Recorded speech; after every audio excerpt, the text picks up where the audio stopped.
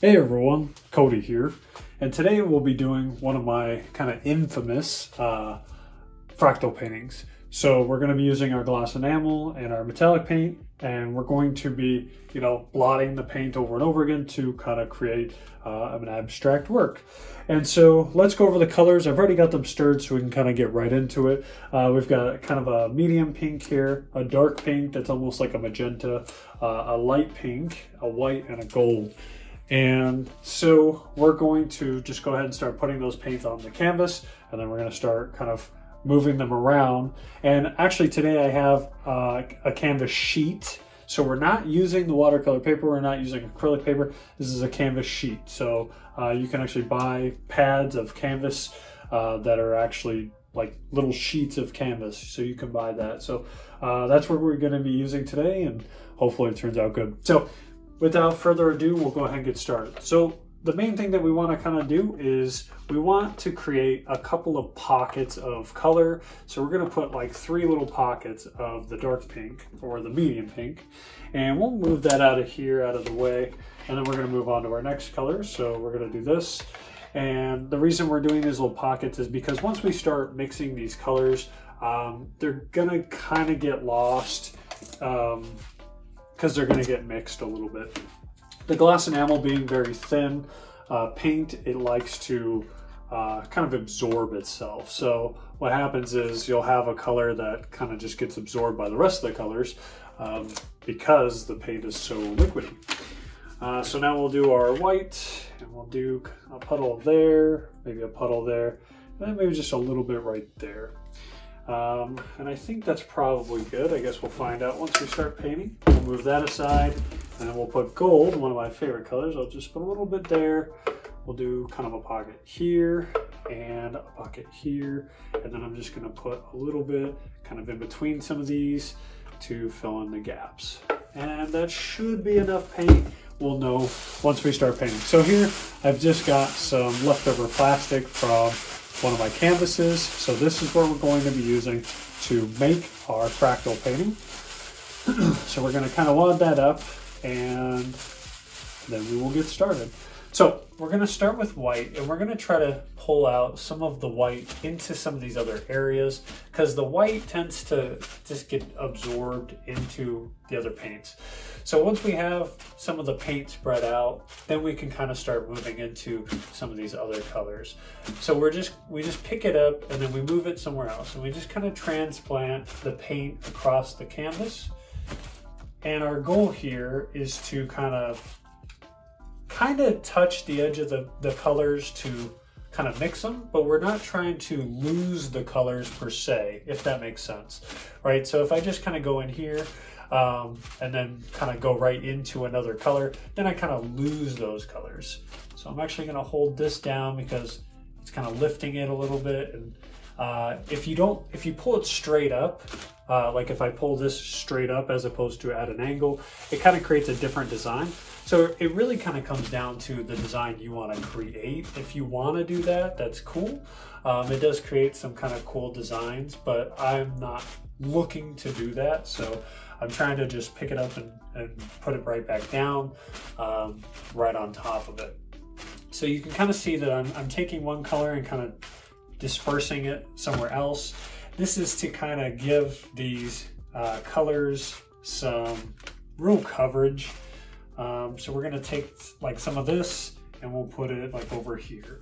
And then we'll take some of this and kind of put it down here. And we're just gonna keep doing that. And see it's lifting it, so it's going to kind of give it that hold design. I'm not looking to do that, I don't want that. So I'm gonna kind of lightly tap it so it doesn't pull it as much. And I'm gonna fill in some of these gaps while I'm down here. And I always tell myself I'm going to kind of base coat the background before I do these paintings. And then I never do because I'm just so excited to start painting. So it is what it is. So now I'm just going to take some of the colors and kind of sporadically mix the colors into the gaps where there's kind of canvas paper showing. And I'm just going to fill these in. And we can kind of go over some of these colors now to kind of to mix them And I'm gonna rotate this plastic so that, uh, you know, we can get some fresh colors on there and pull these colors out. And look like kind of making a mess there, so I'm gonna move those out of the way.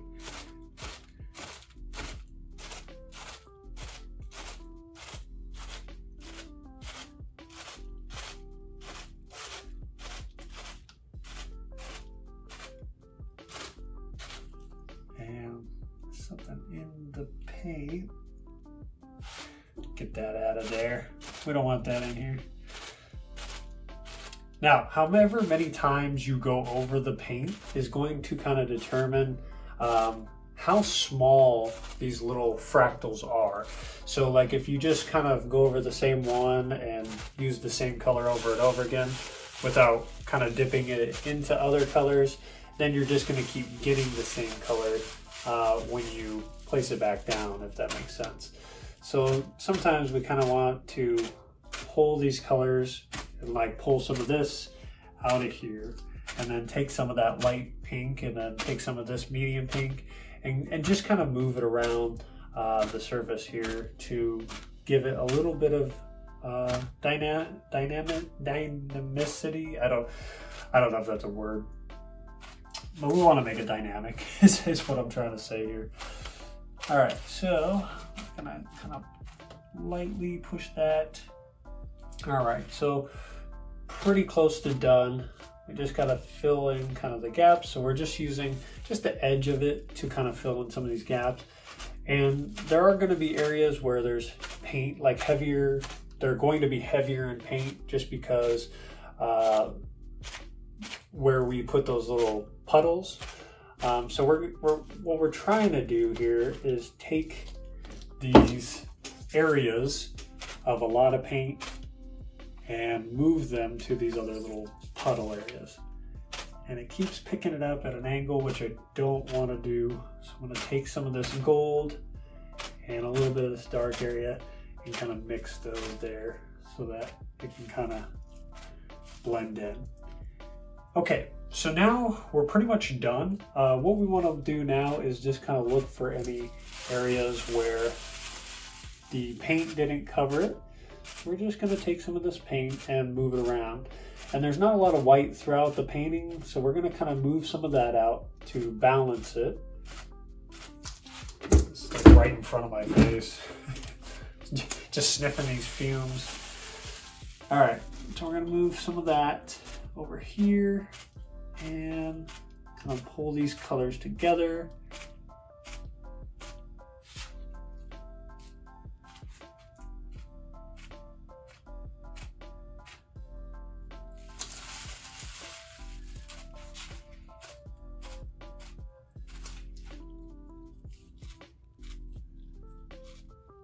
And that's pretty much it.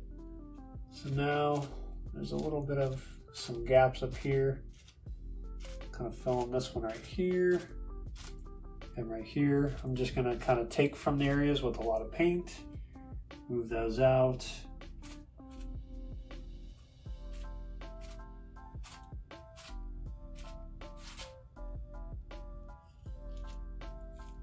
And that's it. So the painting is done. And this one actually turned out really good. I love, uh, you know, I'm not a huge, huge fan of pink, but, uh, you know, I think when it's done right, it can, it can kind of look good. So I'm gonna move these aside and go ahead and show you guys the final piece. So that is the final piece. Or if I can uh, go ahead and get a snapshot of it, thumbnail. All right, so here it is. I'll kind of give you guys like an overview. So we got a lot of decent fractals going on. I'm gonna go over it and just check for any gaps. Uh, but it looks pretty good. We got a lot of, I, I do like it. There's actually quite a bit of balance, surprisingly. Sometimes they just get really heavy in one color, but I think using different colors and kind of spreading it out at the beginning really helped with that. Um, so it's really kind of, uh, it is pretty balanced. I mean, you can kind of see that you can properly see like all the colors. Uh, they stand out you know, quite a bit all over the piece. There's not one that is super overpowering. Uh, I feel like overall this was a successful piece. Um, again, very balanced, very bright, and I think that this would fit really well in someone in a home of someone who really did like pink and you know those accents of white and gold to kind of make it look airy, but also a little bit uh, you know modern because it's got the gold in it, so it looks you know kind of kind of fancy, I guess. Um, but that's it, guys. That's the whole painting. Overall success. Um, just that's all there is to it. So I'll see you guys in the next one. Take care. God bless, and I'll see you then. Bye, guys.